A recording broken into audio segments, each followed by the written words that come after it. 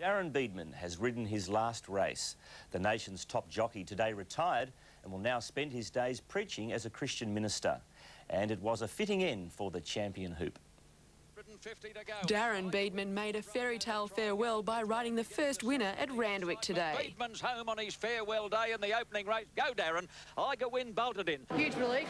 Um, you know, it's nice to, you know, go out with, with the win on your, on your final day. A pretty good feeling getting all this attention with Darren on your horse. Yeah, it is. It's certainly. Uh, we'll have to make the most of it because it won't happen anymore.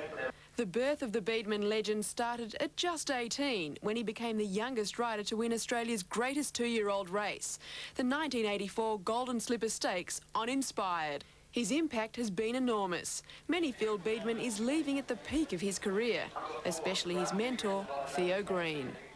Yes, it is uh, very sad, Rebecca, but he's a very wise young man, and I think whatever decision he made, I'd have to support. We need as many good riders in Australia as we can get, so you know, I'm disappointed he's leaving.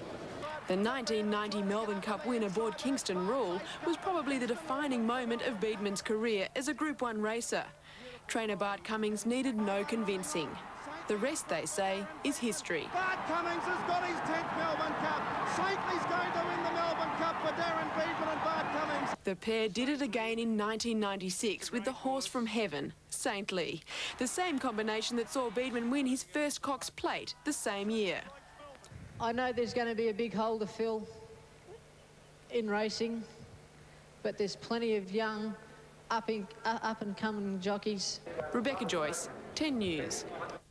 And while Darren Beadman was farewelled at Randwick, it's full steam ahead for Victorian racing.